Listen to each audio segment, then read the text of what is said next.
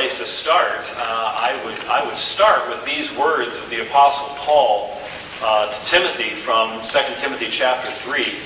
You, however, continue in the things you have learned to become convinced of, knowing from whom you have learned them, and that from childhood you have known the sacred writings, which are able to give you the wisdom that leads to salvation through faith which is in Christ Jesus. All Scripture is theopneustos. It is God-breathed and profitable for teaching, for reproof, for correction, for training righteousness, that the man of God may be adequate, thoroughly equipped for every good work. This is the beginning presupposition of any debate that I would do. And that is that God has spoken, and He has spoken in a way that we can understand. He has spoken in a, in a, in a in a way that demonstrates that he wants to communicate with his people.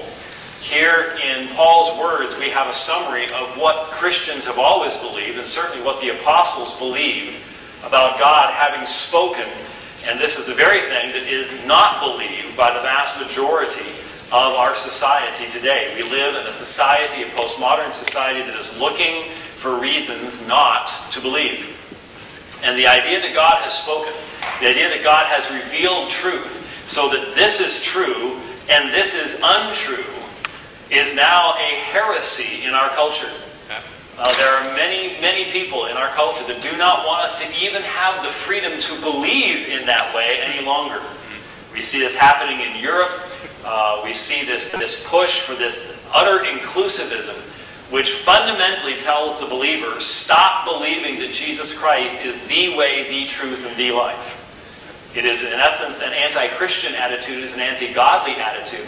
And postmodernism as a whole is an anti-Christian, anti-God attitude as well, because it denies the existence of truth. Yet the apostle tells Timothy, in the last letter that he writes to him, when you, when you know you're going to be going soon, the things you say in those, those last times you have the people you love are the most important things that you want to say to them. And so what does he say to Timothy as he's going to be, he's, he's warned Timothy, uh, there's, there's dark times coming, there's difficult times coming, there's going to be deceivers in the church. What does he direct Timothy to? Does he direct him to the Bishop of Rome? No, there was no Bishop of Rome until around 140 AD. Even the Church of Rome didn't think they needed to have a Bishop in Rome, a single Bishop in Rome, until about 140 AD. Instead, just as he had with the Ephesian elders in Acts chapter 20, I don't have time to go through these, I'm going to have to move through this pretty quickly, but uh, just as he did with the Ephesian elders in Acts chapter 20, he directed them to the Word of God. Here, Timothy, he says, look to the Scriptures, look to the sacred writings, which have a certain ability. Notice verse 15. They have a capacity, they have ability, which are able to make you wise unto salvation through faith which is in Christ Jesus. They have a capacity to accomplish something. They are not dependent upon some later councils to come along and interpret them. They have this ability in and of themselves. And at this point in time, this would be primarily the Old Testament scriptures. The New Testament is still being written. Sad, sad commentary on the modern Christian church today that so few of us know almost anything about the Old Testament scriptures. When we look at the, the early Christians, they can prove from the Tanakh, the Torah, the Nevi'im, and the Ketuvim, the law, the prophets, and the writings. They can prove from those scriptures that Jesus was the Messiah, the Christ. How many of us can even go to very many messianic prophecies in the Old Testament today? They knew those scriptures, those sacred writings, which are able to give you the wisdom that leads to salvation through faith, which is in Christ Jesus. And Paul here gives us this summary statement. All scripture is theopneustos. It is God breathed. It is like when you hold your hand in front of your mouth as you're speaking, you inevitably feel that breath coming forth from your mouth. That is the very speaking of God. It is intimately His personal self revelation.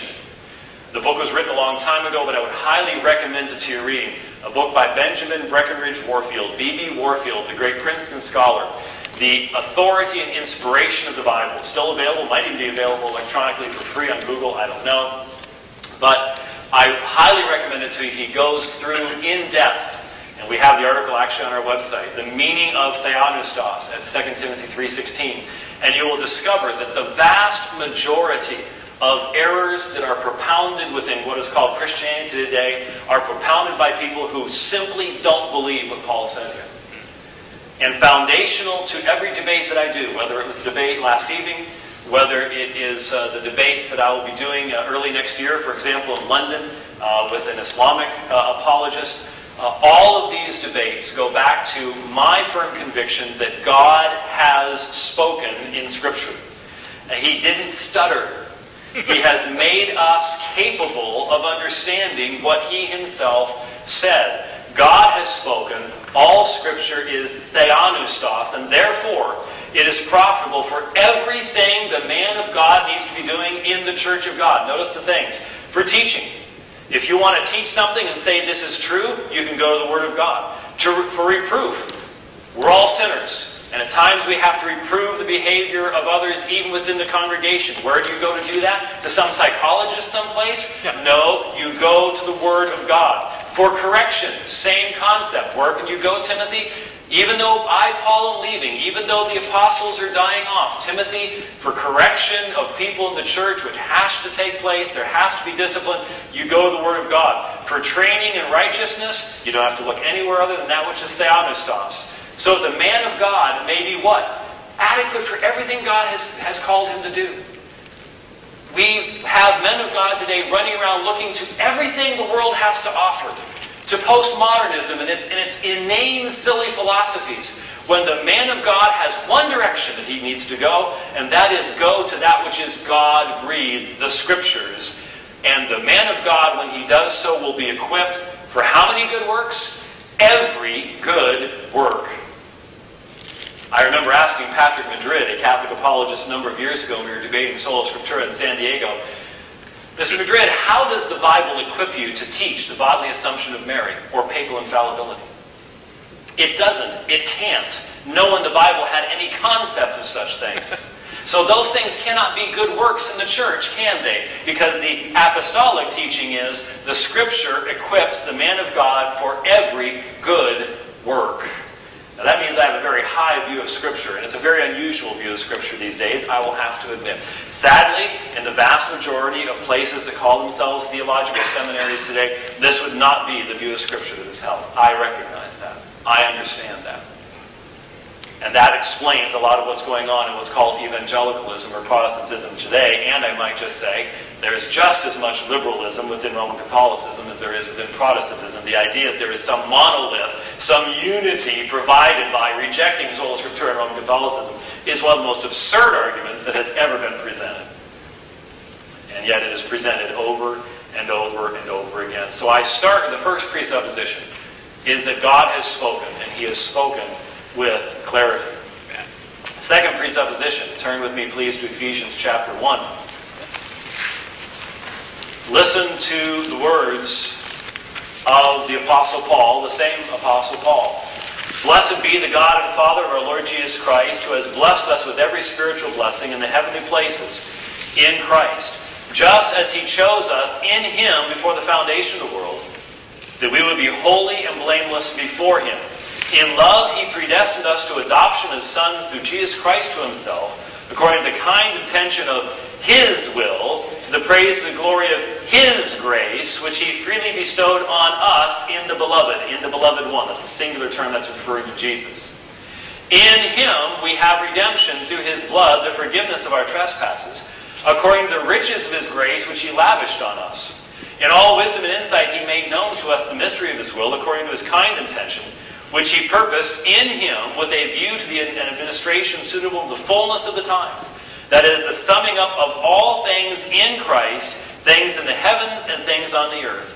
In him also we have obtained our inher- an inheritance, having been predestined according to purpose, to his purpose, who works all things after the counsel of his will, to the end that we who were the first to hope in Christ would be to the praise of his glory. In him you also after listening to the message of truth, the gospel of your salvation, having also believed, you were sealed in him with the Holy Spirit of promise, who is given as a pledge of our inheritance with a view to the redemption of God's own possession, the praise of his glory. My second presupposition is God has a purpose in creation. God did not just decide, you know, I'm bored one day. God didn't say, you know, I'm lonely. I need some creatures. As this text says, from eternity past, God has had a purpose. He has had His will. the triune God, Father, Son, and Holy Spirit, in the eternal covenant of redemption in eternity past, chose to create and to bring about the glorification of the Trinity in a particular fashion. And folks, the focus never, ever goes off of the God who is glorifying himself. It never comes off of him and onto his creatures. God is the central aspect of the story. It starts in Genesis 1 1. In the beginning, God. And in Revelation chapter 22, everyone is worshiping God, and nothing changed in between as to what the focus really is. God has a purpose, and God is accomplishing his purpose. The scriptures are very, very clear. Even the pagan king Nebuchadnezzar, after his reason returned to him in Daniel chapter 4, confessed that the true God of the heavens, whatever he does, no one can lift a hand to stop him. This is the God who says in Psalm 135 6, Our God accomplishes all his purposes in the heavens and the earth and all the deeps. No one can stay his hand. To understand the message of Scripture is to understand that God is absolutely sovereign over all things, and we as creatures are not. Just read the 33rd Psalm sometime and see how the psalmist says, Men plan things, but God frustrates their plans. But God plans things, and nobody frustrates his. And he's going back and forth demonstrating that God is the one who's sovereign, man is a creature, we are the clay in the hand of the potter. Now, I know a lot of people don't like that. And man's religion fundamentally is, is based upon the idea that man is sovereign and God is the great butler in the sky who runs around responding to us. That is not the biblical message. And in verses 5 and 6 here in 1 Ephesians chapter 1, we have some of the big answers. Why has God done what he has done? Why me and not someone else? Well, you have these phrases according to the kind intention of his will, to the praise of the glory of his grace. There's the big answers to the big questions.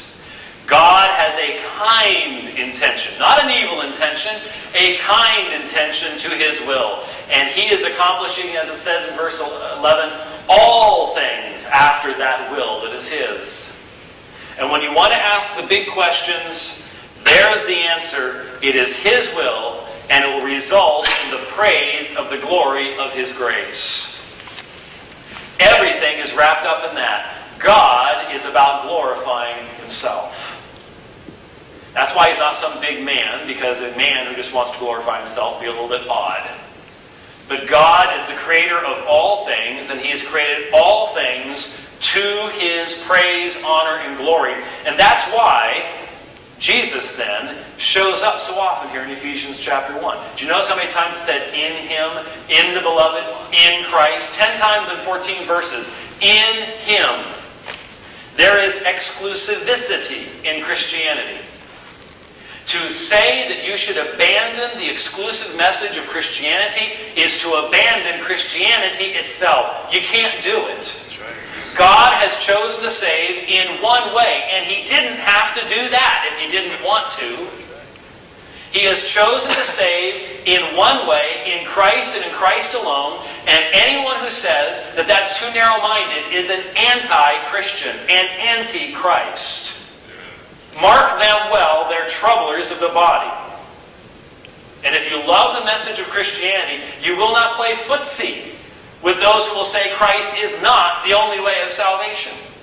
It is in Him that God's grace has been shown. It is in Him that God's mercy has been shown. And my friends, if you want to be saved from the wrath of God, the only place you can be to be saved from the wrath of God is in Him. Not standing next to Him, not looking at Him, not knowing something about Him, but unless you are in Him, the wrath of God will carry you away.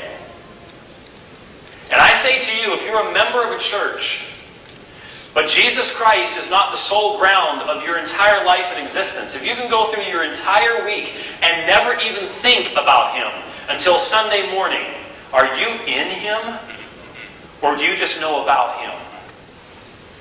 There is no salvation here. There is salvation here, in Him, but in Him alone. Not in Muhammad, not in Buddha, not in Vishnu or Shiva, but in Jesus Christ and Him alone. That's the gospel message. It will always be the gospel message. And anyone who denies that is not a Christian. Period. End of discussion. This is the biblical message. It is all in Jesus Christ, the creator of all things. For by him were all things made, whether in the heavens or the earth, visible or invisible, the principalities, powers, or dominions, or authorities, all things are created by him and for him, and he is before all things, and him all things sunestekin, hold together, consist. That's your creator. I had the opportunity just recently to stand in London, only a few miles from where the 7 7 bombings took place. 7 7 is England's hour 9 11. And to debate a Muslim in front of a crowd of Muslims. There were women there in full hijab, all you can see with their eyes. And I knew that I would have an opportunity to maybe compromise under pressure there. But by God's grace, when the opportunity for the rebuttal period came, and my opponent had attacked the lordship of Jesus Christ and the fact that he was the creator of all things. They were all sitting over on this side for some reason. I looked straight at those people, and what I said to them was this. You have been told that Jesus is a mere Rasul, a mere prophet, an apostle from Allah. But the fact of the matter is, 600 years before Muhammad came along, the New Testament had declared that he's the creator of all things, that he's the King of kings, he's the Lord of lords, he's the risen Lord. Every breath you take, every beat of your heart comes from his hand, and you cannot be neutral about him. He's not a mere Rasul. Unless you bow before him, you'll never have eternal life. That is the by God's Spirit, it will never cease being the Christian message. There are people this day, my friends, who are suffering in prisons in Islamic lands who know that if they were just to compromise that message, if they were just to, for a moment, say, La ilaha illallah wa Muhammadan Rasulullah, that's the Shahada, that's how you become a Muslim. You have to say it in Arabic.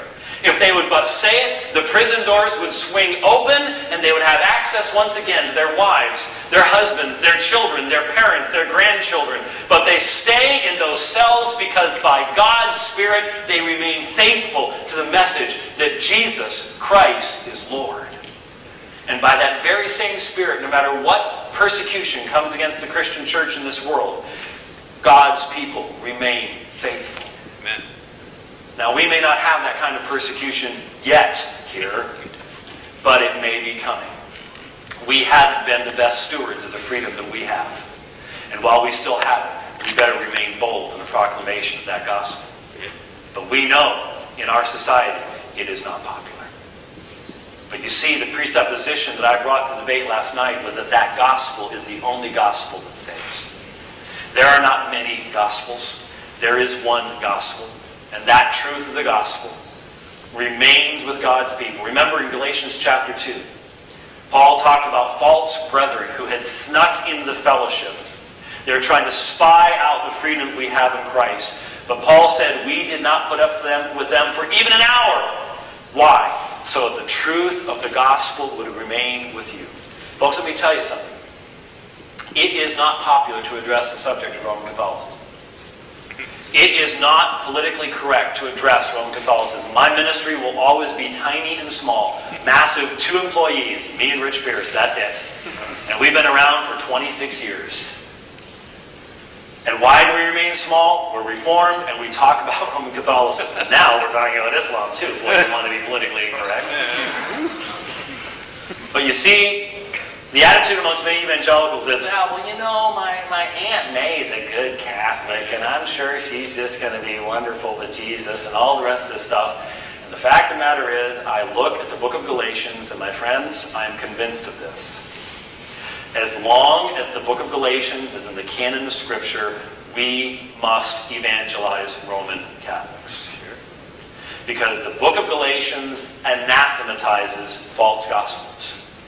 And folks, the Judaizers in Galatia had never even begun to dream of the violations of the gospel that Roman Catholicism has made a part of her dogma. We saw it last night. We heard about it last night. We heard about propitiatory masses and sacrifices. We didn't hear much about it, but you can go back. I've debated Roman Catholics over 40 times now. Debated Mitchell Pacwa, Patrick Madrid, and, and Robert Sungenis, and Gerry Matatics, and Tim Staples, and all these people. You can go back and listen to these things. But priests, sacramental priests, unknown to the New Testament, unknown to the early church, sacramental priests who hear confessions, masses, they're propitiatory, but you can go to them 10,000 times in your life and die impure. Purgatory, indulgences, the Marian dogmas, praying to Mary to deliver you, all of this unknown to any apostle of the Lord Jesus Christ. Never a part of the gospel, now added to it by the authority of the Roman Catholic Church. It's a false gospel and it doesn't save. And that's why I do what I do, and that's why we continue to press forward to do what we do, because you have to be consistent. You can't just put up your hand and say, well, you know, that's really an unpopular thing over there. I just don't want to look at that. I don't want to talk about that. It's the 800 pound gorilla in the room, proverbially speaking. We have to address what these things are saying. Let's look at some other texts as time, unfortunately, just as last night. Well, actually, a couple times last night, dragged real slowly. But, um, but uh, Hebrews chapter 7, I want to reiterate a couple of the points from last evening, but I want to expand them out. I, when I have the and in the debate, I make sure you understand what my position is from the start. I define it clearly. Very often, however, when I'm in the negative debate, I have to define what the other side's supposed to be saying is actually the truth. I had to do that last night. Even when asking about indulgences, I'm the one who had to define what indulgences really were from the Roman Catholic perspective. And so I recognize there are people who are not former Catholics, or even if they were former Catholics, they don't necessarily know what the Roman Church teaches on certain things. But you need to understand a few things. Tomorrow, even this day, of course, but tomorrow especially, when Mass is being said in churches all over this area, the historic Roman Catholic belief, and there are many, I realize there are many liberal Catholics in this area who don't really believe what the Roman Catholic Church actually teaches. It's tough to deal with those folks. But the historic teaching is this that by the power of the priest, Jesus Christ is rendered present upon the altar, body, soul, blood, and divinity. In the olden days, when the Latin phrase hoc est corpus meum was pronounced, the bell would be rung, the miracle of transubstantiation takes place, and the elements are transformed into the body, soul, blood, and divinity of Jesus Christ, so that a propitiatory sacrifice is being altered upon, is being offered upon the altar of the Roman Catholic Church. However, no one is perfected by that sacrifice. No one. The amount of of assistance you receive is dependent upon the state in, you are in when you come in, not just the state of grace, but, but your intentions as you come in, the perfection of your confession, and so on and so forth. And so you can come into the sacrifice of Calvary, because Rome says it's not a different sacrifice. It's not a re-sacrificing of Jesus. It is a re-presentation, not representation, same word, but re-presentation of the one sacrifice of Calvary. That's Rome's argument. And yet you can come into that Mass and you're not perfected by it. You can attend that Mass every day of your life and not be perfected by it. You can die and have to go to purgatory and undergo status passio, having attended the cross 10,000, 15,000, 20,000 times in your life. In fact, you can go to the cross all those times, commit a mortal sin, and die, and at least in old conservative Roman Catholic theology, go to hell. Having gone to the one sacrifice of Christ of Christ over and over and over again. It perfects no one. And the hour before this, you heard that repeated. If you were listening carefully, you had 1 John 2 2 cited over and over and over again as if Reformed folks had never read that one before. By the way, that's not how Calvin responded. uh, I would take the time to actually read some Reformed authors on that subject, and you will see how we respond to that. Specifically, 1 John 2 2. He is the propitiation. Propitiation is the sacrifice that takes away the cause of God's wrath, it brings about forgiveness, and propitiates the wrath itself. It's not an argument amongst Protestants as to how to translate it. The only Protestants that say it should be translated expiation are uber liberals who don't like the idea of the wrath of God. Well, folks, um, the Bible sort of talks about the wrath of God. the point of 1 John 2 2 is not that propitiation doesn't actually remove the wrath of God. Here's the point of 1 John 2 2. There is always a tendency, once we get settled in the Christian life, there is a tendency we get into our little enclaves to start thinking of ourselves as us versus them. And John's words simply mean this we can go into all the world and proclaim that anyone who turns in faith and repentance to Jesus Christ will find him to be a perfect Savior. I don't care where I go in this world. Next week, the week, well, the week after next, sorry, November 1st, I'm going to be in Lima, Peru, teaching pastors about these things. I was in Sydney last year. I've been in Italy, in the UK, in Scotland, my home, my home, my homeland.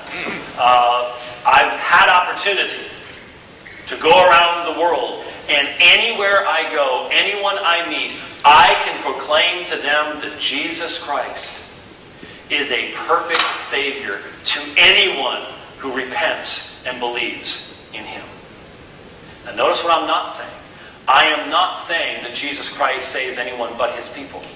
What did the angel say to Mary? Why is He called Jesus? Because He will try to save His people from their sins mm-hmm. with their cooperation? No. He will save His people from their sins. That's why He's called Yeshua. Yahweh saves. Remember these words? If you've not read them before, and sometimes people get a little bit, you know, because you know you go to Book of Revelation, you're trying to figure out, you know, what Tim LaHaye is saying or something like that. you just sort of skip over the theology. Notice these words. There were people, there are creatures before the Lamb. And they sing, uh, uh before the throne, and they sing a new song, verse 9, Revelation chapter 5, verse 9. They sing to the Lamb, Worthy are you to take the book and break its seals. Why? For you were slain and purchased for God with your blood men from every tribe and tongue and people and nation. They didn't sing, You purchased with your blood every man from every tribe and every tongue and every people and every nation. It doesn't say that. You purchased for God with your blood men from every tribe and tongue and people and nation. That is why even Caiaphas, as high priest, prophesied in John chapter 11. Remember the story? After the raising of Lazarus? And John interpreted his words as prophecy, and he was prophesying about how God was going to gather into one all the children of God that were scattered abroad in every tribe, tongue, people, and nation. You see, the problem with the position that was presented to us before is that it decides to, well, on the basis of 1 John 2 2, since it says the whole world, I'm going, to, I'm going to assume that means every single person. Think about that for just a moment. Think about that for just a moment. When the high priest in the Old Covenant offered the priest the, the sacrifice on Yom Kippur, on the Day of Atonement, literally it's Yom Kippurim, the Day of, of, of Atonements, but when the high priest went into the holiest place on the Day of Atonement, was he offering that sacrifice to the Babylonians? The Egyptians? The Amorites? No. Was he even offering it for all the Jewish people? No. That offering was specifically for those who drew near in worship it had a specific audience. Jesus, the high priest of the new covenant. And when he enters into the presence of God, the Father in heaven, what does he do there? He intercedes for us in our, our place. By the way, that's the term of substitution. Just as he gave himself for us, he intercedes for us. Now, when the high priest offered the sacrifice, he took the blood And he entered into the holy place with it. And he sprinkled it upon the place of atonement, the mercy seat. The people for whom the sacrifice was made are the same people for whom the intercession is made. The audience is identical. Let me ask you a simple question. For whom is Jesus interceding this very moment in the presence of the Father? Is he interceding for the Amorites that we know about from the Pentateuch? That God didn't send them any prophets? He sent Israel into captivity in Egypt until their transgression was and then he sent Israel in and he wiped them out man, woman, child, and the little pets. And we know why today. We know archaeologically what these people were doing. God took his hand of restraint off, and the kind of degradation that these people experienced and put upon themselves, I can't even mention to you in mixed company. But let's just talk about child sacrifice for a moment as an example. Can you imagine taking the fruit of your own body and burning it to death while alive? God brought his punishment to bear. Are you going to tell me that Jesus is standing in the presence of the Father pleading to save the Amorite high priest who's been dead for 2,000 years? How is that propitiation? You would violate everything the scriptures say about the atonement. Read the book of Hebrews. It is so clear. It is so plain.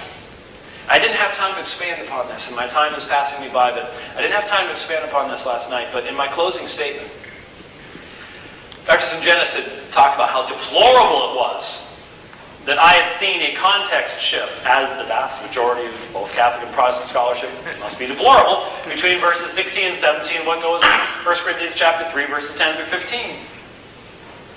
And I respond by saying, let me tell you what I think is deplorable. What I think is deplorable is looking at passages that talk about the ability of God to save perfectly and reading into them some man's controlling capacity so as to steal God of his sovereignty. And I was specifically referring to Hebrews chapter 7. Therefore, he is able also to save forever those who draw near to God through him, since he always lives to make intercession for them. What's the text about? It's about Jesus. It's about Jesus' ability. Therefore, he is able also to save forever those who draw near to God through him, since he always lives to do what? To make intercession for them. It seems to me the text is talking about Jesus' power to be a perfect Savior. And any person here who knows your own sin knows you need a Savior like that. If you know your heart, you rejoice in a Savior who is able to save completely. Yeah. And yet, when I raised that very text in a debate in Utah with Dr. Sungenis, his response is, well, Jesus wants to save forever, but there's this problem called sin. we make the debate available. You see, folks, there is a fundamental difference of vision here. A fundamental difference between a gospel that is God centered. God is glorifying himself in the salvation of a particular people, and man centered, where God is trying real hard, but right now he's not really doing too well. and I understand there are people who believe that. But I have to be consistent with this word. And this word tells me of a, of a Jesus who has come down out of heaven not to do his own will, but the will of him who sent him. And what is the will of him who sent him? That's what Jesus said in John 6:39. Take a look at it. What is the will of the Father for Jesus? That of all that he has given me, I lose nothing, but raise it up on the last day. Let me ask you a question, my friends. Is your Jesus capable of fulfilling the will of the Father in that situation? I don't ask that question lightly. Because very often our traditions give us a Jesus who's not really quite up to that. Think about what it means. There in John chapter 6, for a moment, the very veil of eternity is drawn aside. We are, we, we are, we are ushered into a situation where we, We know something about the relationship of the Father and the Son, what the will of the one divine person for the other divine person is. This is the will of the Father for the Son. That of all that He has given me, do you believe in the God who can give a certain people to Jesus? That of all that He has given me, I lose how much? I'm going to be a 90% savior. That'd be pretty good. We've got the, uh, the baseball stuff going on right now. The Yankees got beat.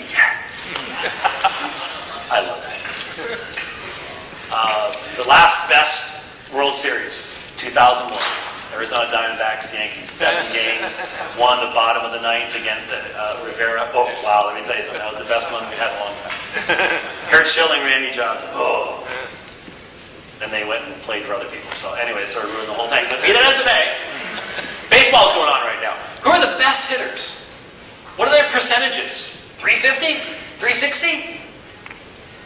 Would Jesus be a good Savior if he was 350, 360? Would you want to trust him if you had about a 65% chance of not making it? what must be true of Jesus if John 6.39 is really a revelation from God? That of all the Father gives me, I lose nothing, but raise it up on the last day. He has to be he has to possess the power that is given to him in Hebrews chapter 7, verse 25. He has to be able to save in and of himself. My friends, there is a fundamental difference between saying Jesus died to make salvation possible and saying Jesus died to save. There is a fundamental difference between those things. And I believe that with the Apostle Paul, Galatians chapter 2, when he said, I have been crucified with Christ. Nevertheless, I live, yet not I, but Christ lives in me. In the life that I live in the flesh, I live by the faith of the Son of God who loved me and gave himself for me. That is what every Christian can say. I have been crucified with Christ. If you are in him, then his death is your death. His resurrection, then, is your resurrection. You can face death with confidence, knowing that the one to whom you are united has already conquered death. That is the power of the faith in the emergency room, in the CCU. And I'm not just an apologist. I was a hospital chaplain for a while. I had to live that. That's the power. His death, my death. My friends, will any reprobate sinner standing on the parapets of hell in eternity, screaming his anger and hatred toward God, be able to say, I was crucified with Christ, I've destroyed his work? He? Will he? Will he be able to stand upon the parapets of hell and say, Christ interceded for me, but I destroyed his work? I don't believe so, and I've never found anything in that inspired word to make me believe so. It's not that I have some theology I'm forcing on the text. I submit to you that someone who has an infallible external authority and denies the sufficiency of Scripture is the one who has an external authority you need to be looking at. I don't have one of those. John Calvin is not my external authority. John Calvin would have had me drowned or burned or exiled or something. I'm a Baptist. I can appreciate when men said true things, I don't have to bow my knee and say, oh, you're infallible. I think we have to do that with any church leader, past or present. Presuppositions that I brought to this debate, pretty straightforward. God has spoken. I didn't go to external sources to prove my points. I held the Roman Catholic teaching of purgatory to the standard of what is theopneustos. Because, folks, Bible never tells us anything else is God breathed. Men's traditions are not God breathed. Jesus taught us to test traditions by the authority of that which is God breathed. Rome has that reversed. Rome can't do that. My opponent last night cannot test the teachings of the Roman Catholic Church by Scripture. Can't do it. It's not possible. It's epistemologically impossible for him to do so. I believe that God has a purpose that he is working out. And from beginning to end, it is his glory. Now, thank God, his glorification involves the salvation of wretched, undeserving sinners. Amen. Taking men and women who are God haters, taking out a heart of stone, giving them a heart of flesh. Some people don't like that. It's biblical, in case you've read Ezekiel recently. There are some people, that's. You're talking about God rewiring us or something. I'm awful glad he rewired me. I have to wonder sometimes. I remember a woman called me on a radio program we used to have a long time ago. I was talking about God's sovereignty and salvation. She was very, very strong on this concept of man's autonomy, man's free will. And I said, let me ask you a question. When Jesus stood outside of Lazarus' tomb, remember John 11? What did Jesus say? A loud voice, so everybody could hear it. Lazarus, come forth! I said, do you really think that the voice could have come back? No, thank you. Don't know what it's like living with those two sisters. Stay in here. I like this dead thing. It's cool in it. Seriously, folks. Could the Son of God have failed? When he said, Lazarus, come forth, is there any power in heaven and earth that could have caused the Son of God to fail that one? She said yes. She said Lazarus had the free will to stay right there. Well, she was consistent. She was consistent, just not Christian, that's all. There are many people who believe that way. There are many people who believe that way. The last presupposition I brought doesn't flow from the Institutes of Christian Religion by John Calvin. It doesn't flow from The Bondage of the Will by Martin Luther. Though it's a good book, by the way. Philip Melanchthon, I don't think, believe it really was all that much, but that's a mystery. Thank you. I was waiting for Chris to laugh there. I was going to sit, I was going to stand up here the rest of the time and just wait for Chris to laugh. It's not why I believe those things. It's not because there's some external authority that said, you need to believe these things. The reason I believe these things is because I am prisoner of the Word of God. I have to believe what it teaches, and I have to believe it consistently. And I strive for that consistency. The scriptures tell me that Jesus Christ has this power. That Jesus Christ has entered into the holy place. And that he stands as a, as a lamb slain from the foundation of the earth. He doesn't have to be re-sacrificed over and over again. And I want to close with this. I know my time is almost up. Please listen with me just very, very briefly. Ken, are you going to rush the stage if I go five minutes over? Okay. listen to these words. For the law, since it has only a shadow of the good things to come and not the very form of things, can never, by the same sacrifices which they offer continually, year by year, make perfect those who draw near. Otherwise, would they not have ceased to be offered because the worshippers, having once been cleansed, no longer have had consciousness of sins? But in those sacrifices, those regular sacrifices, the yearly sacrifices, Yom Kippur, over and over again, every year, in those sacrifices, there is a reminder of sins year by year. You know why there's no purgatory? Because the foundation, and Robert Sungenis just said it a few minutes ago, purgatory comes from a foundation of the teachings of the Roman Catholic Church. He's right. It is the end result of previous beliefs.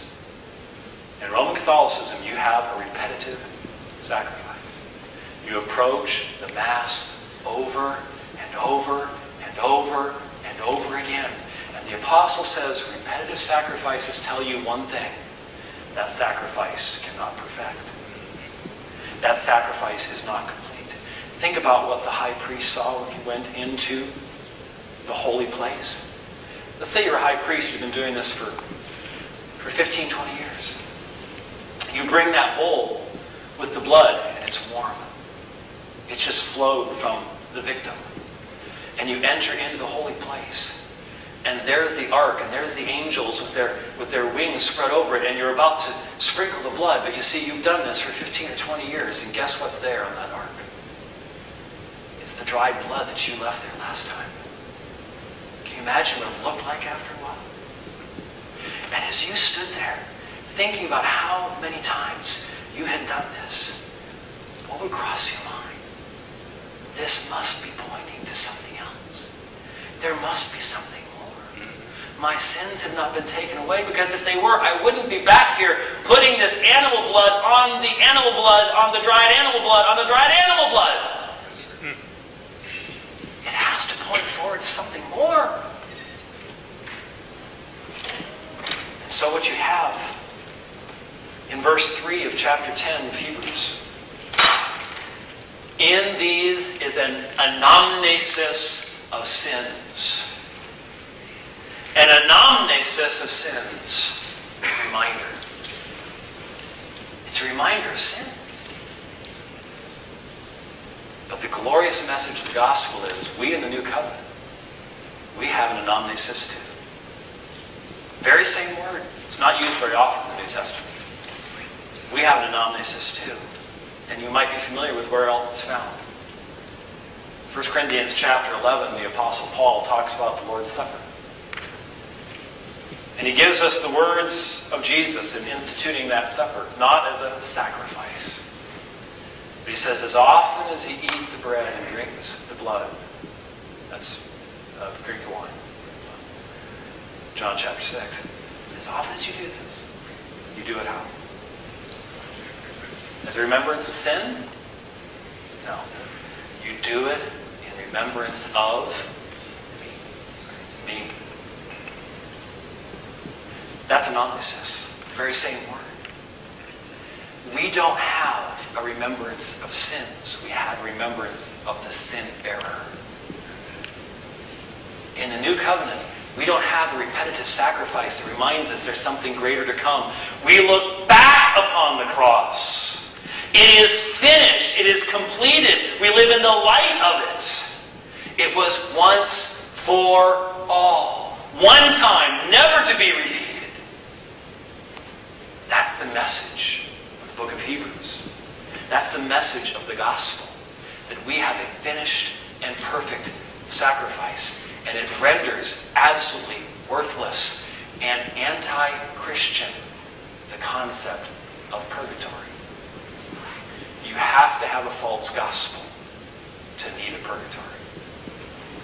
Those are the presuppositions that I bring. They, they come from the inspired scriptures.